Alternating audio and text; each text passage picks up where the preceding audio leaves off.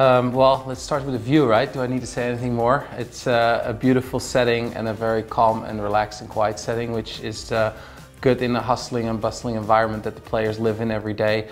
Practice, being around fans, having many commitments to do, and it's very nice to come home at the end of the day to a very quiet and serene um, environment, and especially with the view, um, you know, can't beat it. I mean, it ranks right up there. Um, you have to understand uh, tennis players travel uh, 11 months out of the year most of the time uh, to every continent and country you can possibly imagine. I would say 95% of the time they travel, they stay in hotels. So this is a very welcome change of pace, so to speak. It makes them much more feel at home. Uh, they have a kitchen, they have a bedroom, a living room. Uh, they can really feel like they live here actually, so make it more part of their everyday routine as they're used to at home. So it's a very welcome change, and uh, I mean, where it ranks, it ranks right up there. I mean, it's it's impeccable with the views, the luxury of the places, the the, the light, the glass windows and walls. It's it's fantastic.